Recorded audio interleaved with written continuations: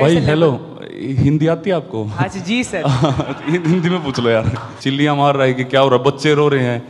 तो मैं बोला आज साथ में मेरे फीजो बैठे थे कि यार चिल्लाने से क्या होगा? ये जानिए तो जाएगी नीचे इसको कोई नहीं रोक सकता। तो वो हुई थी हमारे साथ। मौत ऐसा शब्द है जिसका खौफ हर शख्स के चेहरे पर दिख जाता है।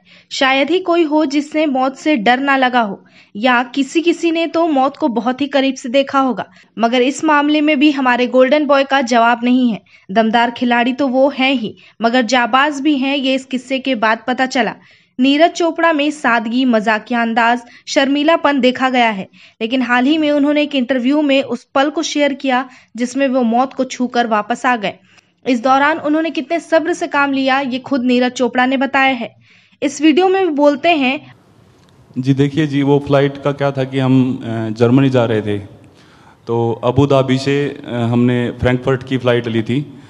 तो वो क्या हुआ था कि 10-15 सेकंड के लिए एकदम लाइट्स ऑफ़ हो गई थी और मतलब बिल्कुल फ़्लाइट ऐसा लग रहा था कि बहुत स्पीड से नीचे जा रही है। तो मैं हेडफोन लगा रहा था तो मैंने हेड जैसे हेडफोन हटाए तो लोग रो रहे हैं, कोई चिल्लियाँ मार रहा है कि क्या हो रहा है, बच्चे रो रहे हैं। तो मैं बोला साथ में मेरे फिजियो बैठे थे कि यार चिल्लाने से क्या होगा, ये जानिए तो जाएगी नीचे, इसको कोई नहीं रोक सकता। तो वो हुई थी हमारे साथ। जी देखिए जी, वो फ़्लाइट का क्या था कि हम जर्मनी जा रहे थे। तो अबू धाबी से हमने फ्रैंकफर्ट की फ़्लाइट ली थी। तो वो क्या हुआ था कि 10-15 सेकंड के लिए एकदम लाइट्स ऑफ़ हो गई थी और मतलब बिल्कुल फ़्लाइट ऐसा लग रहा था कि बहुत स्पीड से नीचे जा रही है।